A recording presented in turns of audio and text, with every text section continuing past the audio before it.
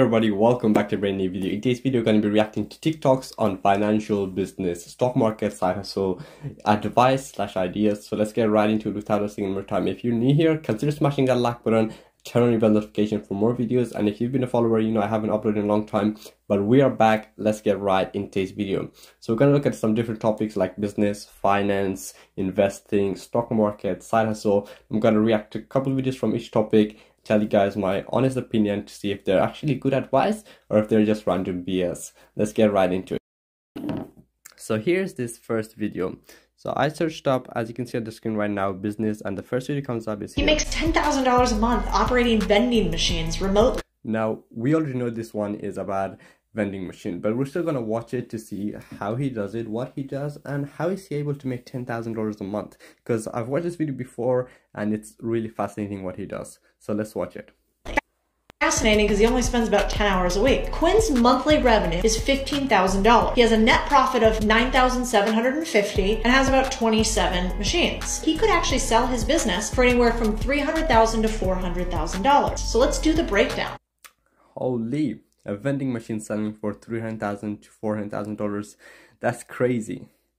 That's crazy. First, you need the machine. Let's say a machine costs you fifteen hundred bucks. You need a CC reader for about two fifty. Someone to move. That's about hundred bucks. You need inventory of about two fifty. Total all in is about two thousand one hundred bucks. Fascinating part is you do not pay to the people where you put the vending machine. You're just offering another service. So he has them in low income apartments, hotels, motels, assisted living, hospital segment. Then what do you put in it? Soda, water, snacks, all bought from Costco in bulk. How do you run the business?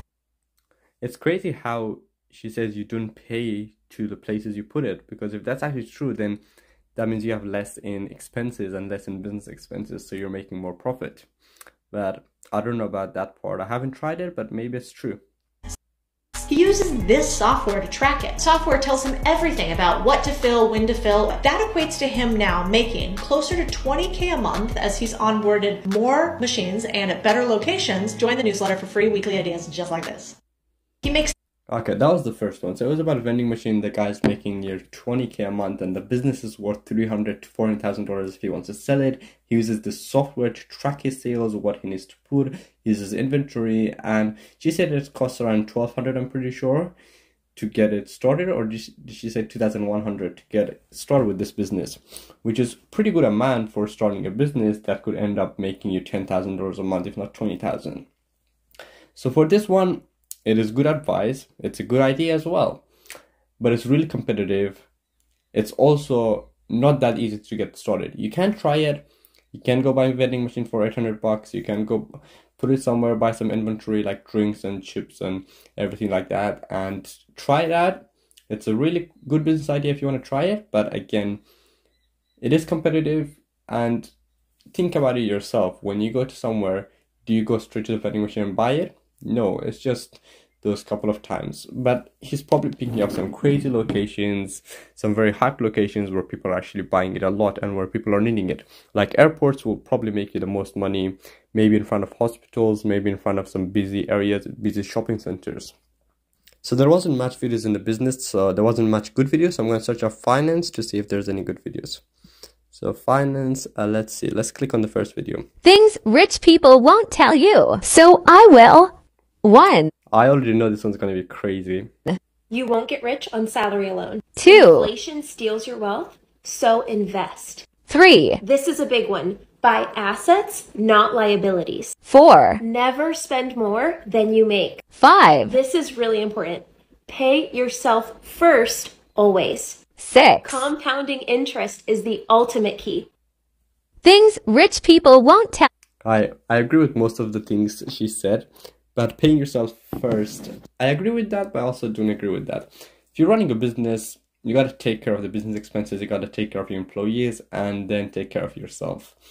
But maybe she's talking about something else and paying yourself first. I agree with most of the stuff she said, and it's really good advice. You start at 25, saving $100 a month, and you do so every single month until you are 65 and put it in a good Standard & Poor's 500 index fund with average market returns, you'd have a million dollars. Wow. But if you wait just 10 years, $100 a month is 1200 a year. For 10 years, it's $12,000. Not that much money if you wait 10 years. and you start at 35, at 65, you'd have only $300,000. So those 10 years cost you $700,000 at $100 a month. You started. This one is crazy because we go back to the compound interest where she talked about it before. So investing $100 a month will, if you start 10 years later, will cost you $700,000. Yes, just investing $100 a month when you're 65, if you just start 10 years later at 35, it's going to cost you $700,000. Think about that, guys. The earlier you start, the more you earn. And the more you learn, faster you earn. I'm gonna give you this iPhone 13, but I want it back in a year, okay? Random, but okay. If he wants it back in a year, I guess I could sell it now for $1,000, and then when Apple inevitably comes out with the iPhone 14, they'll discount this model. I'll buy it back for 600. Thus, I'll profit 400 bucks. Hmm. Hey, how's it going? Do you have that iPhone 13? Yeah, but to be honest, I sold it the day you gave it to me knowing the price would go down and then I bought it back again now that it's cheaper. So you borrowed my iPhone and when it came to returning it, you bought it back for less than what you sold it for, so you made a profit on me. Yeah, I guess. Then you've learned the lesson, my son. What lesson? I just showed you what shorting a stock is. You borrow a share of a stock, and when it comes to returning it, if you can buy it back for less, you make a profit. If not, you'll take a loss. That took a year for you to explain? No, it took about 45 seconds, which is the length of this video. You better follow me now. Jeez. Uh, this one was good, and it's uh, it says reach that lesson on the marketing on the market using an iPhone and uh, analogy. So this one is I'm talking and showing you or telling you what shorting a stock is. There's you just buying a stock, but there's also people who short stocks, and this was explained in 45 seconds. It's when you buy it, and then before you actually want to give it back or sell it if you can buy it for cheaper you're basically going to make profit if not you're to lose money. This one was good advice. I give a thumbs up for that you're a millionaire, right? Tell me the five best stocks to buy to get rich. Actually, I'm gonna give you 500 stocks you have to buy now. That seems like it'll take a while. Nope, just write it down. VOO. Um, what are the 499 others? It's actually an index fund that tracks the S&P 500. Basically means that when you buy one, it's the equivalent of buying a fraction of 500 of the largest companies in the US, like Tesla, Amazon, Facebook, and Apple. I'm gonna go buy this now. But we haven't even gotten to the fun part. How are you gonna invest without paying taxes? I guess you'll have to follow to learn more. Uh, this one is good as well. So when you want to invest using compound interest and you want to just invest that $100 a month, $200 a month, how much ever it is, investing into an index fund is one of the best things you can do, one of the safest investment, but also one of the greatest investments with the greatest return. Because what that does is invests your money into a kind of basket of full of the biggest stocks. It invests your money into a basket that has all the biggest stocks so amazon tesla facebook google all of the biggest stocks are in that basket. So what it helps you do is grow your money more safely but also more cheaper. So instead of you buying one share of tesla for around 1200 or 600 or 800 you're gonna go buy a share of an index fund which already owns tesla in their index fund Here's what the middle class think is rich. I'm 35, finally have enough money saved up to buy this house. I can pay it off in 30 years when I'm supposed to retire at 65, and hopefully I can live off of my 401k if the market hasn't crashed by then. Here's how the wealthy view rich. I took some risks, so now I have a bunch of income producing, cash flowing assets that can take care of all of my liabilities, like my house and all my other monthly expenses, as well as awesome vacations and hanging out with my family. I now have the time to be able to start businesses, take more risks, and even though I'm in a lot of debt, all of my income producing assets are taking care of all of that debt. I don't know, man. Your way sounds a little risky to me. Relying on two assets and working your entire life, that sounds risky to me. That's why I follow Avery for all the finance tips. Here's what the middle. Uh, this this video was great. This video was amazing. What it's really talking about is how different class of people think about wealth and money and richness, basically. Wealthy people think of it differently than just the middle class or the average people, and he explained that really amazingly in that video wealthy people like taking risks because they know in the long term if they take calculated risks and they make good decisions it's going to pay off better than just working at your 9 to 5 doing the same thing forever buying a house paying it off in 30 years and relying on your 401k. That is a good way to live your life if you want to, but if you want to expand what you can do with your life, because obviously we only live once, you can try to take some more risks because that's one thing you should do. Now we're going to look at another topic because I feel like those topics are some good videos, but let's look at side hustles. Side hustle because I feel like some people would want me to react to some of these videos. So let's start with this one. My best side hustle to make 9K a month. Number one, Fiverr. Fiverr is an app you can download in the App Store in which you just sell your service. This is a list of some of the services that people sell. You can easily charge $50 or more depending on what you're doing. And Fiverr already have a huge platform, so you don't have to worry about marketing. You just throw up your service and wait for the money to come in. If you sell your service at $50 and you get five sales a day, that's $250 a day.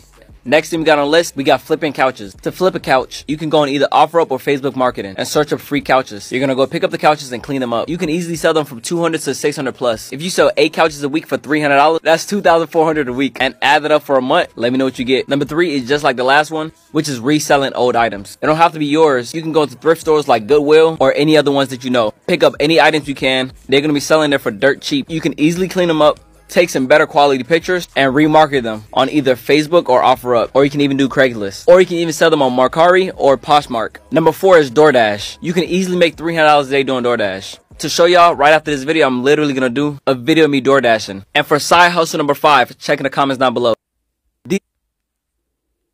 Let's check his comments.